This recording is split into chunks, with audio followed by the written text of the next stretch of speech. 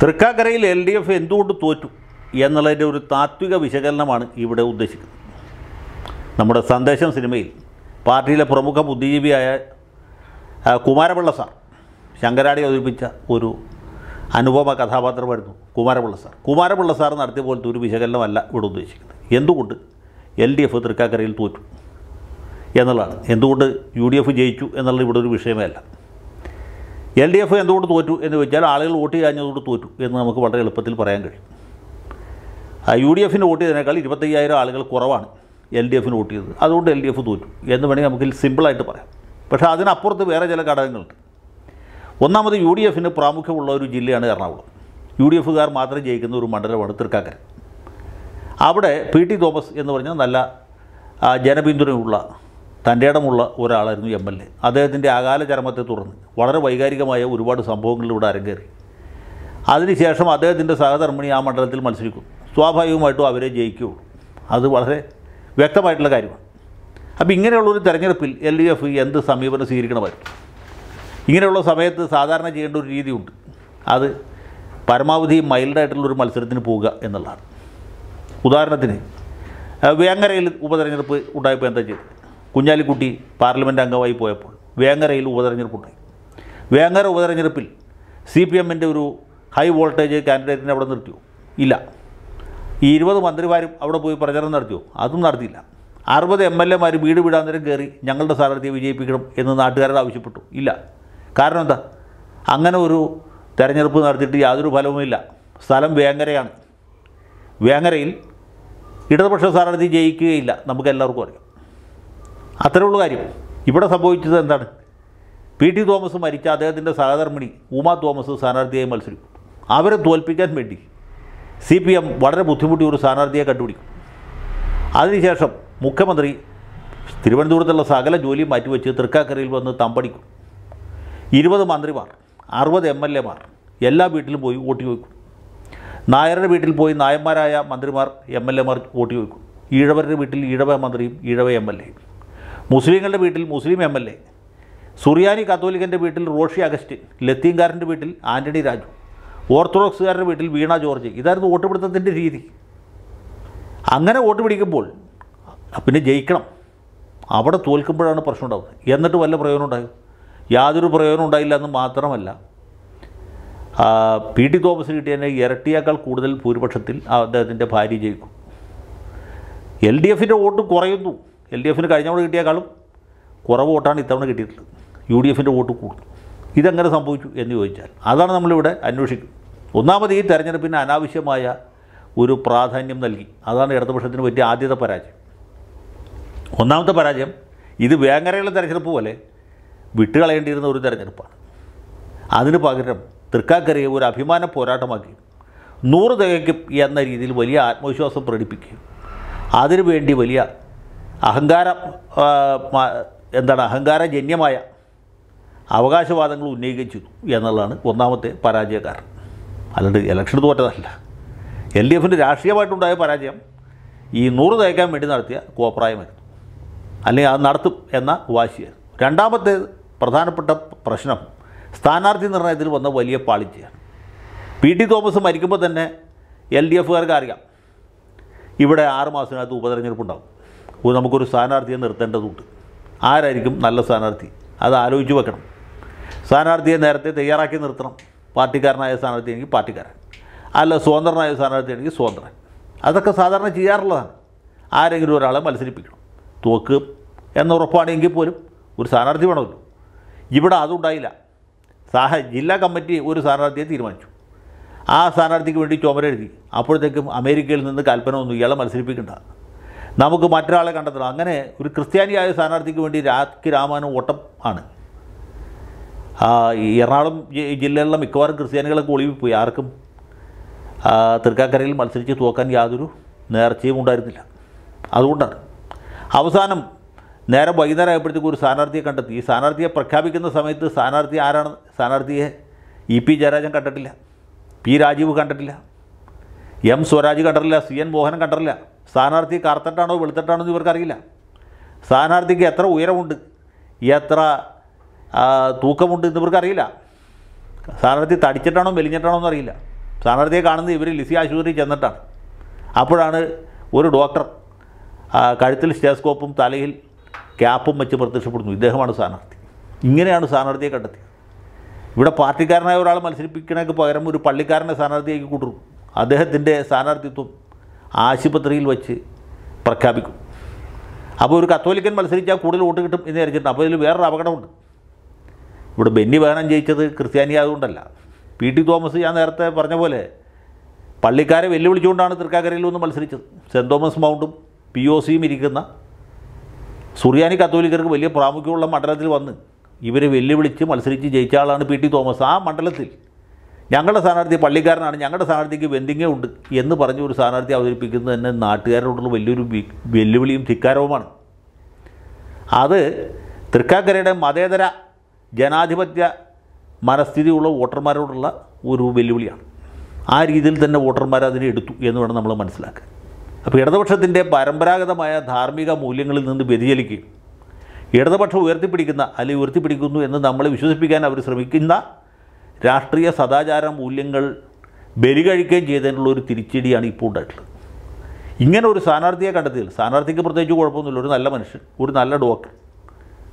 അദ്ദേഹത്തെ പള്ളിക്കാരുടെ ഒരു സ്ഥാനാർത്ഥിയായിട്ട് ആശുപത്രിയിൽ കൊടുത്ത് പ്രഖ്യാപിച്ചു. അത് കഴിഞ്ഞിട്ട് അദ്ദേഹം പണ്ട് മുതലേ ഇടതുപക്ഷക്കാരനാണ് എന്നൊക്കെ പറഞ്ഞ് വിശ്വസിപ്പിക്കാൻ ശ്രമിച്ചു. അതിൽ മറ്റൊരു അപകടം ഇവർ ഉദ്ദേശിക്കാത്ത രീതിയിൽ വേറൊരു ഒരു കുഴിബോംബ് ഉണ്ടായിരുന്നു. കുഴിബോംബ് അഥവാ ലാൻഡ് മൈൻ എന്ന് പറഞ്ഞൊരു സാധനമുണ്ട്. അത് വളരെ സൂക്ഷിക്കേണ്ട ഒരു സാധനമാണ്. പി രാജീവിന് അറിയാൻ പാടുന്ന ഒരു സംഗതി. ഇദ്ദേഹം പൂഞ്ഞാറുകാരനാണ്. അപ്പോൾ ഈ എറണാകുളം ജില്ലയിൽ പൊതുവേ ഈ തൃക്കാക്കര പ്രദേശങ്ങളിൽ പ്രത്യേകിച്ചും ഉള്ളൊരു വലിയ പ്രശ്നം എന്ന് പറയുന്നത് നമ്മളെ ബാധിക്കുന്ന പ്രശ്നമല്ല. ഈ കാർദിനാൾ ഗ്രൂപ്പും കാർദിനാൾ വിരുദ്ധ ഗ്രൂപ്പും ഉണ്ട് പാലായിൽ നിന്നും കാഞ്ഞിരപ്പള്ളിയിൽ നിന്നൊക്കെ വന്ന് താമസിക്കുന്ന ആളുകൾ കർദിനാളിനെ സപ്പോർട്ട് ചെയ്യുന്ന ആളുകളാണ് ക്രിസ്ത്യാനികൾ. നേരെ മറിച്ച് ഇവിടെ ജനിച്ചു വളർന്ന ആളുകളുണ്ട്. എടപ്പള്ളിയിലും വൈറ്റിലും ആ, അതുപോലെ തൃക്കാക്കരയിലും കാക്കനാട്ടും തുതിയൂരും ഒക്കെ താമസിക്കുന്ന സാധാരണക്കാരായ കത്തോലിക്കർ. അവരെല്ലാവരും തന്നെ കർദിനാൾ വിരുദ്ധന്മാരാണ്. ഈ രണ്ട് ചേരികൾ വളരെ ശക്തമാണ്. ഈ കർദിനാൾ ചേരിയും വിരുദ്ധ ചേരിയും തമ്മിൽ വിശ്വാസപരവും മറ്റ് പല കാരണങ്ങളും സാമ്പത്തികം അടക്കമുള്ള കാര്യങ്ങളെക്കുറിച്ച് പല തർക്കങ്ങളും നിലനിൽക്കുകയാണ്. അവിടെയാണ് പൂഞ്ഞാറുകാരനായ അഥവാ കർദിനാൾ പക്ഷക്കാരനായ ഒരു സ്ഥാനാർത്ഥി അവതരിപ്പിക്കും അപ്പോൾ സാധാരണക്കാരായ ക്രിസ്ത്യാനികളുടെ ഇടയിൽ വേറൊരു വിഷയമുണ്ട്. അതെന്താണ്? ക്രിസ്ത്യാനികൾ തന്നെ പല വിധമുണ്ട് അതിൽ ഈ ഇദ്ദേഹത്തിന്റെ വിഭാഗമായ സുറിയാനി കത്തോലിക്കരിൽ തന്നെ രണ്ട് ഗ്രൂപ്പായി. ഇയാൾ കർദിനാളിന്റെ കൈവപ്പുള്ള സ്ഥാനാർത്ഥിയാണ് എന്ന് കർദിനാൾ വിരുദ്ധ പക്ഷക്കാർ. അവർക്കാണ് ഇവിടെ പ്രാമുഖ്യമുള്ളത്. അവർ പ്രചരിപ്പിക്കുകയും പള്ളിയിൽ വിളിച്ചു പറയുകയും ചെയ്തു. ഈ തൃക്കാക്കര അസംബ്ലി മണ്ഡലത്തിൽ ഞാൻ മനസ്സിലാക്കിയെടുത്തോളം പതിമൂന്ന് കത്തോലിക്ക ഇടവകളാണുള്ളത്. സുറിയാനി കത്തോലിക്ക ഈ പതിമൂന്നിൽ ഏതാണ്ട് ഒമ്പതോ പത്തോ എണ്ണത്തിൽ കാർദിനാൾ വിരുദ്ധന്മാരാണ് വികാരിമാരായിട്ടിരിക്കുന്നത്. ഞാൻ ഈ വികാരിമാരുടെ പേര് ഇവിടെ എടുത്ത് പറയാൻ ആഗ്രഹിക്കുന്നില്ല. ഇവർ ഓരോരുത്തരും അവരുടെ കഴിവിനും പ്രാപ്തിക്കും ജനപിന്തുണയ്ക്കും ഒത്ത രീതിയിൽ ഈ സ്ഥാനാർത്ഥി നമ്മുടെ ആളല്ല നമ്മുടെ വിരുദ്ധനാണ് എന്ന് പ്രചരിപ്പിക്കാൻ താല്പര്യപ്പെട്ടു. അങ്ങനെ കത്തോലിക്ക സഭയിൽ നിന്ന് പോലും അദ്ദേഹത്തിന് യാതൊരു പിന്തുണയും കിട്ടിയില്ല. വേറൊരു കാര്യം കൂടി ഉണ്ട്. ഒരു സ്ഥാനാർത്ഥി വരുമ്പോൾ ബെന്നി ബാനാൻ എണ്ണത്തിൽ വളരെ കുറവുള്ള കുറവുള്ള യാക്കോബായ വിഭാഗത്തിൽ നിന്ന് വന്ന ആളാണ്. അദ്ദേഹത്തെ യാക്കോബായക്കാരനായതുകൊണ്ടല്ല ആളുകൾ വോട്ട് ചെയ്ത് ജയിപ്പിച്ചത്. അദ്ദേഹം ഞാൻ യാക്കോബായക്കാരനാണ് അല്ലെങ്കിൽ യാക്കോബായ സഭയുടെ സ്ഥാനാർത്ഥിയാണ് എന്ന രീതിയിലൊരു ചെറിയ ഒരു സൂചന കൊടുത്തിരുന്നെങ്കിൽ ദയനീയമായിട്ട് തോറ്റു പോകുമായിരുന്നു കാരണം യാക്കോബായക്കാരെക്കാളും വളരെ കൂടുതൽ സുറിയാനി കത്തോലിക്കരും അതിനേക്കാൾ കൂടുതൽ ലത്തീൻ കത്തോലിക്കരും ഈ എല്ലാ വിഭാഗക്കാരെക്കാൾ കൂടുതൽ ഹിന്ദുക്കളും ഒട്ടും കുറവല്ലാത്ത രീതിയിൽ മുസ്ലിങ്ങളും ഉള്ള ഒരു മണ്ഡലമാണ്. അവിടെ ഇങ്ങനെ ഒരു സമുദായ കാർഡെടുത്തത് വലിയ ദോഷം ചെയ്തു. സുറിയാനിക്കാരനായ സ്ഥാനാർത്ഥിക്കെതിരെ ലത്തീൻകാർ രംഗത്തു മറ്റു വിഭാഗക്കാർക്കും വലിയ കലിപ്പും കാലുഷ്യവും ഉണ്ടായി. ഒരു ഹിന്ദു സ്ഥാനാർത്ഥി ആദ്യം തീരുമാനിക്കുകയും അയാളെ മാറ്റി വേറൊരു ക്രിസ്ത്യാനിയെ കൂട്ടുകയും ചെയ്തപ്പോൾ ഹിന്ദുക്കളുടെ വികാരം വ്രണപ്പെട്ടു മുസ്ലിങ്ങൾക്ക് തോന്നി ഇയാൾ പള്ളിയുടെ സ്ഥാനാർത്ഥിയാണ്. നമ്മളെന്തിനാണ് ഇയാളെ ജയിപ്പിക്കുന്നത് എന്ന ചിന്താഗതി ഉണ്ടായി. ഇതാണ് രണ്ടാമത്തെ അപകടം. മൂന്നാമത്തേത് മുസ്ലിം വോട്ടുകളെ ലാക്കാക്കിയിട്ടാണ് നമ്മുടെ ബഹുമാനപ്പെട്ട മുഖ്യമന്ത്രി ആദ്യത്തെ പ്രസംഗം മുതൽ തെരഞ്ഞെടുപ്പ് കൺവെൻഷനിലെ പ്രസംഗം മുതൽക്ക് ഇങ്ങോട്ട് നോക്കിയാൽ അദ്ദേഹം അവരെ ലാക്കാക്കിയിട്ടാണ് ശക്തമായ പ്രചരണം നടത്തിയത്. മുസ്ലിം വോട്ടർമാർ ഏതാണ്ട് പത്ത് ഇരുപത്തയ്യായിരം ഉണ്ട്. അതിൽ ഗണ്യമായൊരു ഭാഗം സാധാരണയായിട്ട് കോൺഗ്രസ്സിന് വോട്ട് ചെയ്യുന്നവരുമാണ് ഇവരുടെ വോട്ട് ലാക്കാക്കി പുള്ളി നടത്തിയ പ്രവർത്തനങ്ങൾ. മാത്രമല്ല മുസ്ലിം വീടുകളിൽ പ്രചരണം നടത്താനായിട്ട്. നമ്മുടെ മുഹമ്മദ് റിയാസ് അതുപോലെ A N Shams Noushad M L A T K Hamsa മന്ത്രി അബ്ദുറഹിമാൻ അഹമ്മദ് ദേവർകോവിൽ മുതലായ ആളുകളെ രംഗത്തിറക്കി. ഇപ്പോൾ കറുകപ്പള്ളി പോലെ മുസ്ലിം പ്രാമുഖ്യമുള്ള പ്രദേശങ്ങളിൽ അല്ലെങ്കിൽ വാഴക്കാലിൽ ഒക്കെ മുസ്ലിം വീടുകൾ കയറാനായിട്ട് മുസ്ലിങ്ങളായ എം എൽ എമാർ മുസ്ലിങ്ങളായ മന്ത്രിമാർ. സുറിയാനി കത്തോലിക്കരുടെ വീട്ടിൽ റോഷി അഗസ്റ്റ് ലത്തീൻകാരുടെ വീട്ടിൽ ആന്റണി രാജു ഓർത്തഡോക്സുകാരുടെ വീട്ടിൽ വീണ ജോർജ് ഈ രീതിയിലുള്ള ഒരു പ്രചരണം അത് തൃക്കാക്കരയിൽ നേർ വിപരീത ഫലമുണ്ടാക്കി. തൃക്കാക്കരയിലെ വോട്ടർമാർ സാമാന്യ ജനാധിപത്യ ബോധമൊക്കെ ഉള്ളവരാണ് അവരെ അത്ര പെട്ടെന്ന് വിട്ടികളാക്കാൻ പറ്റുകയില്ല. അത് ഈ തെരഞ്ഞെടുപ്പിൽ തെളിയിച്ചു. അപ്പോൾ ഇടതുപക്ഷത്തിന്റെ ധാർമ്മിക മൂല്യങ്ങളിൽ നിന്ന് രാഷ്ട്രീയ സദാചാരത്തിൽ നിന്നുള്ള വ്യതിചലനത്തിന് കിട്ടിയ ഒരു വലിയ കനത്ത ആഘാ തിരിച്ചടിയാണ് ഇപ്പോൾ ഉണ്ടായിട്ടുള്ളത്. ആ കാര്യത്തിൽ നമുക്ക് തൃക്കാക്കരയിലെ വോട്ടർമാരെ അഭിനന്ദിച്ചാൽ മതിയാകും അപ്പോൾ ഇങ്ങനെ ഉള്ള പ്രചരണം നടത്തുന്നു പിന്നെ ഇരുപത് മന്ത്രിമാർ സകല ജോലിയും മാറ്റിവെച്ച് ഇവിടെ വന്ന് പ്രചരണം നടത്തും. ഇതൊക്കെ ആളുകളെ സ്വാധീനിക്കാൻ കഴിയുമെന്ന് വിചാരിച്ചെങ്കിൽ അവർക്ക് തെറ്റിപ്പോയി. പിന്നെ ഈ ഉമാ തോമസ് എന്ന് പറയുന്ന സ്ഥാനാർത്ഥിക്കെതിരെ നടത്തിയ സൈബർ ആക്രമണം. ഭർത്താവിന്റെ ചിതയിൽ ചാടി മരിക്കുന്നത് ചതി ഭർത്താവ് മരിക്കുമ്പോൾ തെരഞ്ഞെടുപ്പിലേക്ക് എടുത്ത് ചാടുന്നത് കൊതി എന്ന രീതിയിലൊക്കെ ചില കൊജ്ഞാണന്മാർ നടത്തിയ പ്രചാരം. അത് മാർക്സിസ്റ്റുകാരുടെ എല്ലാ വാട്സപ്പ് ഗ്രൂപ്പുകളിലും അതിന് കിട്ടിയ പ്രചാരം. ഇതൊക്കെ കാണുമ്പോൾ അവർ വിചാരിച്ച് ഇങ്ങനെയൊക്കെ പരിഹസിച്ച് കഴിഞ്ഞാൽ ഉമാ തോമസ് സ്ഥാനാർത്ഥിത്വം പിൻവലിച്ച് വീട്ടിൽ പോകും. അല്ലെങ്കിൽ ഇത് വായിക്കുന്ന ആളുകളൊക്കെ ഇവർക്കെതിരായിട്ട് വോട്ട് ചെയ്യും എന്നാണ്. നമ്മുടെ നാട്ടിലെ ചില സാംസ്കാരിക നായകന്മാരും നായികമാരും ഒക്കെ ഉമാ തോമസിനെ പരിഹസിച്ചുകൊണ്ട് പോസ്റ്റ് ഇട്ടതും ഞാൻ കണ്ടു. എല്ലാം വളരെ ഗംഭീരമായി. ഇവരെല്ലാവരും ഈ ഇടതുപക്ഷത്തിന്റെ ചരിത്ര പരാജയത്തിന് ഉത്തരവാദികളാണ്. ഇങ്ങനൊരു സ്ഥാനാർത്ഥി അതും മരിച്ചുപോയ എം എൽ എയുടെ ഭാര്യ മത്സരിക്കുമ്പോൾ അവരെ പരിഹസിക്കുന്നത്. ഇതൊക്കെ വലിയ കേമത്തമായിട്ട് വിചാരിക്കുന്ന ആളുകളുണ്ട്. അവരൊക്കെ ഇതുകൊണ്ടൊന്നും പഠിക്കില്ല എന്നുള്ളത് എനിക്കറിയാം. പക്ഷേ പറയാതിരിക്കാൻ നമുക്ക് നിവൃത്തിയില്ലാത്തതുകൊണ്ട് പറഞ്ഞു പോകുന്നതാണ്. ഇവരൊക്കെയാണ് സത്യത്തിൽ ഈ പരാജയത്തിന് ഉത്തരവാദികൾ. പിന്നെ തെരഞ്ഞെടുപ്പിന്റെ ചുമതല വഹിച്ചത് സഖാവ് ഇ പി ജയരാജനാണ്. അദ്ദേഹം തന്നെയാണ് പണ്ട് പിറവത്തും ചുമതല വഹിച്ചത്. അപ്പോൾ ഏതാണ്ട് ഇതുപോലത്തെ റിസൾട്ട് തന്നെയാണ് അവിടെ ഉണ്ടായത്. അവിടെ ഇരുപത്തയ്യായിരം തികഞ്ഞില്ല എന്ന് മാത്രമേ ഉള്ളൂ. ഇവിടെ ഇരുപത്തയ്യായിരം തികയ്ക്കാൻ കഴിഞ്ഞാൽ സഖാവിന് ഏതായാലും ചാരിതാർത്ഥ്യത്തിന് അവകാശമുണ്ട്. പിന്നെ മഹാബുദ്ധിജീവിയായ സഖാവ് പി രാജീവാണ് ഈ സ്ഥാനാർത്ഥിയെ കണ്ടുപിടിച്ച് അവതരിപ്പിച്ചത്. അദ്ദേഹത്തോട് കോൺഗ്രസ്സുകാർ പ്രത്യേകിച്ച് ഉമാ തോമസും വി ഡി സതീശനൊക്കെ പ്രത്യേകിച്ചും കൃതജ്ഞതയുള്ളവരായിരിക്കും. കാരണം ഈ സ്ഥാനാർത്ഥിയെ കണ്ടുപിടിച്ച് അവതരിപ്പിച്ച അദ്ദേഹമാണ്. ലിസി ആശുപത്രിയിൽ വെച്ച് പത്രസമ്മേളനം നടത്തിച്ചതും അദ്ദേഹമാണ്. അദ്ദേഹം വലിയൊരു സൈദ്ധാന്തികനും ചിന്തകനുമാണ്. കുമാരപിള്ള സാറിനോടൊക്കെ കിടപിടിക്കുന്ന ദാർശനികനാണ്. അതുപോലെ മന്ത്രിമാരെ വീട് കയറാനായിട്ട് നായരുടെ വീട്ടിൽ നായരും ഈഴവന്റെ വീട്ടിൽ ഈഴവനും ധീവരന്റെ വീട്ടിൽ ധീവരനും മുസ്ലിമിന്റെ വീട്ടിൽ മുസ്ലിമും സൂര്യാനിക്കാരന്റെ വീട്ടിൽ സൂര്യാനിക്കാരനും ലത്തീൻകാരന്റെ വീട്ടിൽ ലത്തീൻകാരനും കയറണം എന്ന് തീരുമാനിച്ച ആരെന്ന് എനിക്കറിയില്ല. ആരായാലും തരക്കേടില്ല. നല്ല ബുദ്ധിപൂർവമായ തീരുമാനമായിരുന്നു. പിന്നെ ഈ തെരഞ്ഞെടുപ്പിന്റെ ചുമതല വഹിച്ച മറ്റൊരാൾ സഖാവ് എം സ്വരാജാണ്. തൃപ്പൂണിത്തുറയിൽ മത്സരിച്ച് തോറ്റ സഖാവ് തൃക്കാക്കരയിലും തോൽപ്പിക്കാൻ കഴിയും എന്ന് തെളിയിച്ചു. അദ്ദേഹത്തെ നമുക്ക് അഭിനന്ദിക്കാതിരിക്കാൻ യാതൊരു മാർഗവും യാതൊരു നിവൃത്തിയും ഞാൻ നോക്കിയിട്ട് കാണുന്നില്ല. അതുകൊണ്ട് പി രാജീവിനെയും അതുപോലെ തന്നെ എം സ്വരാജിനെയും ഇ പി ജയരാജനെയും പിന്നെ ഊണുമുറക്കവും ഉപേക്ഷിച്ച് തിരുവനന്തപുരത്തെ സകല ജോലികളും മാറ്റിവെച്ച് തൃക്കാക്കരയിൽ വന്ന് ക്യാമ്പ് ചെയ്ത ബഹുമാനപ്പെട്ട മുഖ്യമന്ത്രിക്കും അദ്ദേഹത്തിന്റെ സഹപ്രവർത്തകരായ ബാക്കി മന്ത്രിമാരെയും എം എൽ എമാരെയും എല്ലാവരെയും അഭിനന്ദിക്കുന്നു. ഈ തെരഞ്ഞെടുപ്പ് ഫലം ഇടതുപക്ഷത്തിന് ഭാവിയിലും പഠിക്കേണ്ട ഒരു കാര്യമാണ് പക്ഷേ ഇതിന്റെ ഉത്തരവാദിത്വം ആര് പേറും എന്ന കാര്യത്തിൽ എനിക്ക് സംശയമുണ്ട്. തെരഞ്ഞെടുപ്പ് നയിച്ചത് മുഖ്യമന്ത്രി അല്ല എന്ന് സഖാവ് സി എൻ മോഹൻ ജില്ലാ സെക്രട്ടറി പറഞ്ഞു കഴിഞ്ഞു. അപ്പോൾ സി എൻ മോഹനാണ് ആദ്യം അരുൺകുമാർ എന്ന് പറഞ്ഞ സ്ഥാനാർത്ഥിയെ കൊണ്ടുവന്നത്. അദ്ദേഹത്തോടുള്ള കലിപ്പ് കൊണ്ടാണ് പി രാജീവ് ആ സ്ഥാനാർത്ഥിയെ വെട്ടി ഈ ഡോക്ടറെ കണ്ടെത്തി ഇവിടെ അവതരിപ്പിച്ചത്. ആ, അതെന്തോ അത് അവരുടെ പാർട്ടി പ്രശ്നം. ഇനി ആരൊക്കെ പേരിൽ നടപടിയെടുക്കും എന്നുള്ളത് വളരെ പ്രധാനപ്പെട്ട കാര്യമാണ്. കാരണം ഇത് സി പി എമ്മിനെ സംബന്ധിച്ചുള്ള അഭിമാന പോരാട്ടമായിരുന്നു. നൂറ് തേക്കുക എന്നുള്ളത്. അല്ല രാഷ്ട്രീയത്തിൽ ഈ ഈ തെരഞ്ഞെടുപ്പിന് എന്തെങ്കിലും പ്രാധാന്യം ഉണ്ടായിട്ടില്ല. തൊണ്ണൂറ്റൊമ്പത് നൂറ് തമ്മിൽ വേറെ വ്യത്യാസമൊന്നുമില്ല. നൂറ് തേക്കുക എന്നുള്ള ആവേശ പോരാ ഒരു അഭിമാന പോരാട്ടത്തിൽ ഇത്ര വലിയ പരാജയം ഉണ്ടായി. അതുമാത്രമല്ല കേരളയിലടക്കമുള്ള വികസന പദ്ധതികൾക്കുള്ള വോട്ടായിരിക്കും ഇതെന്നും. സർക്കാരിന്റെ വിലയിരുത്തലായിരിക്കുമെന്നൊക്കെ ആദ്യം പ്രഖ്യാപിച്ചു പോയി. കോടിയേരി ഒന്ന് പറഞ്ഞു. ഇ പി ജയരാജൻ പറഞ്ഞു. പി രാജീവും മോഹനും പറഞ്ഞില്ല. കാരണം അവർക്കറിയാം ഗ്രൗണ്ട് റിയാലിറ്റി. അതുകൊണ്ടാണ് പറയാൻ ഈ പുറമേ നിന്ന് വന്ന എല്ലാ നേതാക്കന്മാരും പിണറായി വിജയനും ഒക്കെ പറഞ്ഞത് ഇത് ഭരണത്തിന്റെ വിലയിരുത്തലായിരിക്കും. യു ഡി എഫിന്റെ വികസന വിരോധത്തിനുള്ള ഒരു തിരിച്ചടിയായിരിക്കും. എല്ലാത്തിലുപരി വേറൊരു കാര്യം കൂടി പറഞ്ഞു. കഠിനമായ വാചകം മുഖ്യമന്ത്രിയാണ് പറഞ്ഞത്. കഴിഞ്ഞ തെരഞ്ഞെടുപ്പിൽ തൃക്കാക്കരക്കാർക്ക് കൂടി തെറ്റുപറ്റി അത് തിരുത്താനുള്ള ഒരവസരമാണ്. തൃക്കാക്കരക്കാർക്ക് കൈവന്ന സൗഭാഗ്യമാണ് ഉപതെരഞ്ഞെടുപ്പ് എന്ന് പറഞ്ഞു. അത് തന്നെ തൃക്കാക്കരക്കാരോടുള്ള ഒരു വലിയ വെല്ലുവിളി. മരിച്ചുപോയ പി ടി തോമസിനോടുള്ള വലിയൊരു അവഹേളനവുമാണ്. അത് പറഞ്ഞ മുഖ്യമന്ത്രിക്ക് തോന്നിയില്ലെങ്കിലും കേട്ട നാട്ടുകാർക്ക് തോന്നി എന്നുള്ളതാണ് യാഥാർത്ഥ്യം. അതും ഈ തെരഞ്ഞെടുപ്പിൽ പ്രതിഫലിച്ചു. ഈ കുലംകുത്തി എന്നും കുലംകുത്തി എന്നും പരനാറി എന്നും പരനാറി എന്നും ഒക്കെ പറഞ്ഞ് ശീലിച്ച മുഖ്യമന്ത്രി എന്ന ഇതിൽ കൂടുതൽ നമുക്ക് പ്രതീക്ഷിക്കാൻ പറ്റുകയില്ല ഈ വയസ്സുകാലത്ത് പുള്ളി ശൈലി മാറ്റും എന്ന് നമുക്ക് കരുതാൻ കഴിയുകയില്ല. പക്ഷേ അതിന്റെ വില ഈ രീതിയിലൊക്കെ കൊടുക്കേണ്ടി വരും എന്നുള്ളത് പാർട്ടിക്കാർ ഇനിയെങ്കിലും ഒന്ന് ഓർമ്മിക്കുന്നത് നല്ലതാണ്. ഈ പിണറായിക്ക് പഠിക്കുന്ന യുവ നേതാക്കളും അറിഞ്ഞിരിക്കുന്നത് നല്ലതാണ്. എന്താണ് ഈ തെരഞ്ഞെടുപ്പ് വേളയിലൊക്കെ നടത്തുന്ന പരാമർശങ്ങൾക്ക്? ഏത് തരത്തിലുള്ള വില കൊടുക്കേണ്ടി വരും എന്ന് മനസ്സിലാക്കാനുള്ള ഒരു അവസരവും കൂടിയാണ്. കഴിഞ്ഞ തവണ ഇതുപോലെ തന്നെ കഴിഞ്ഞ തവണ എന്ന് വെച്ചാൽ ഈ രണ്ടായിരത്തി ഇരുപത്തൊന്നിലെ പൊതു തെരഞ്ഞെടുപ്പിലും ഇതുപോലൊരു സ്ഥാനാർത്ഥിയെ തന്നെയാണ് തൃക്കാക്കരയിൽ മത്സരിപ്പിച്ചത്. സത്യത്തിൽ തൃക്കാക്കര അങ്ങനെ കോൺഗ്രസ്സുകാർ പറയുന്ന പോലെ ഒരു പൊന്നാപുരം കോട്ടയൊന്നുമല്ല. ശക്തനായ ഒരു സ്ഥാനാർത്ഥിയെ നിർത്തി നന്നായിട്ട് ക്യാമ്പയിൻ ചെയ്താൽ. ഒരു സാധാരണ തെരഞ്ഞെടുപ്പിൽ പിടിച്ചെടുക്കാവുന്ന മണ്ഡലം തന്നെയാണ്. ഇതിനേക്കാൾ എത്രയോ ബുദ്ധിമുട്ടുള്ള മണ്ഡലമാണ് കോതമംഗലം എത്രയോ ബുദ്ധിമുട്ടുള്ള മണ്ഡലമാണ് കൊച്ചി. അറുപത് ശതമാനം കോൺഗ്രസ്സുകാരുള്ള മണ്ഡലമാണ്. അവിടെ എൽ ഡി എഫ് ജയിക്കുന്നില്ലേ? നിസ്സാരമായിട്ട് ജയിക്കുന്നുണ്ട്. പക്ഷേ തൃക്കാക്കരയിൽ എന്തുകൊണ്ട് ജയിക്കുന്നില്ല എന്ന് ചോദിച്ചാൽ നല്ല സ്ഥാനാർത്ഥിയെ നിർത്താത്തതുകൊണ്ടാണ് പലപ്പോഴും.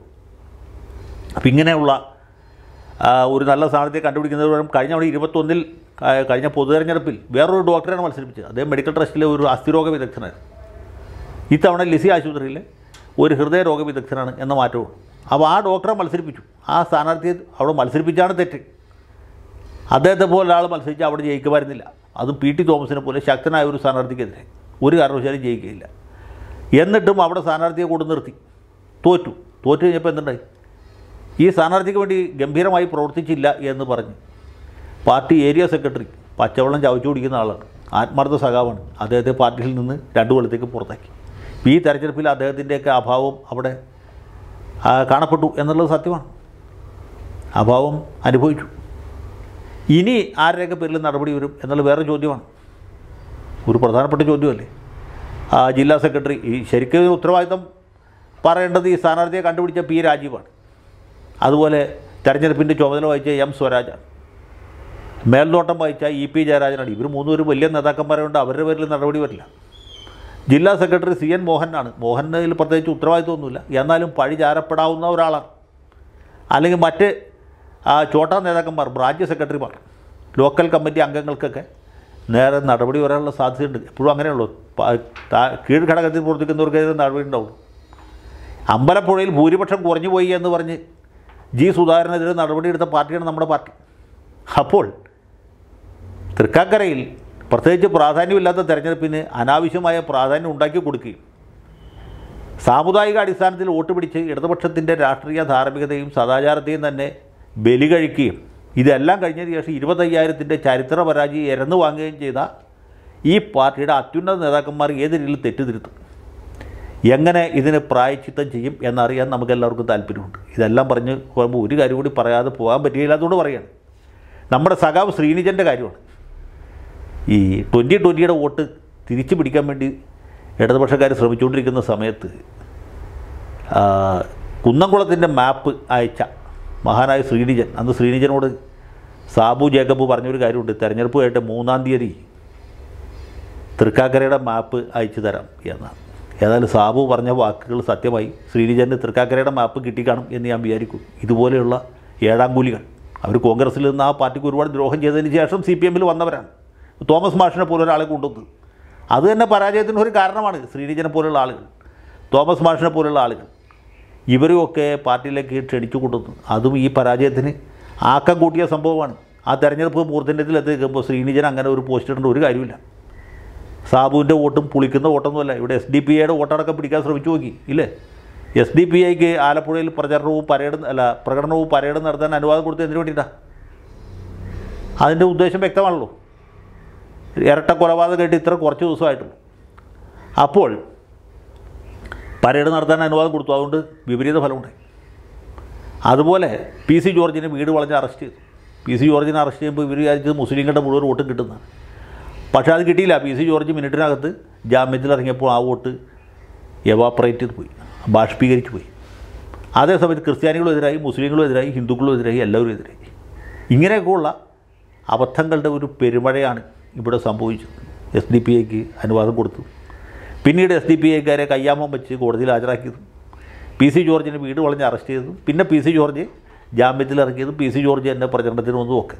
അതുപോലെ ട്വന്റി ട്വന്റിയെ പ്രീണിപ്പിക്കാൻ ശ്രമിക്കുമ്പോൾ തന്നെ കുന്നംകുളത്തിന്റെ മാപ്പ് അയച്ചത്. തൃക്കാക്കരയുടെ മാപ്പ് തിരിച്ചു വാങ്ങിച്ചത്. ഒക്കെ പരാ അബദ്ധങ്ങളുടെ വിഡിതങ്ങളുടെ ഒരു വലിയ പെരുമഴ തന്നെയാണ് തൃക്കാക്കരയിൽ പെയ്തു തുറന്നത് ഏതായാലും ഇതുകൊണ്ടൊക്കെ പാഠം പഠിക്കുമെന്ന് വിചാരിക്കുന്നതിൽ യാതൊരു അർത്ഥവുമില്ല. കാരണം ചരിത്രത്തിൽ നമ്മൾ പഠിക്കുന്ന ഒരു പാഠം എന്ന് വെച്ചാൽ ഒരു പാഠവും പഠിക്കുന്നില്ല എന്ന പാഠം തന്നെയാണ്. നിങ്ങൾ ഈ ചാനൽ ദയവായി സബ്സ്ക്രൈബ് ചെയ്യുക ബെൽബട്ടനും അമർത്തുക.